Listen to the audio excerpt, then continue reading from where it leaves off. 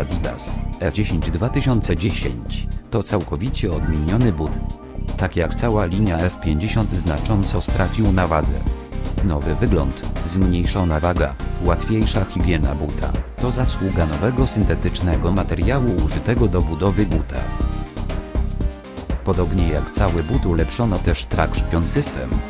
Mniejsze kołki ułatwią przyspieszenie i start do piłki, jednocześnie zapewniając komfort na twardych boiskach.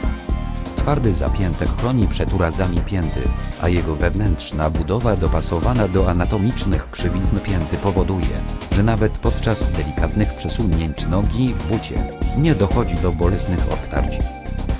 Anatomicznie ukształtowana wkładka EWA gwarantuje komfort. W butach zastosowano antybakteryjną wyściółkę Aidion wzbogaconą o jony srebra, zapobiegające rozwojowi nieprzyjemnych zapachów i bakterii.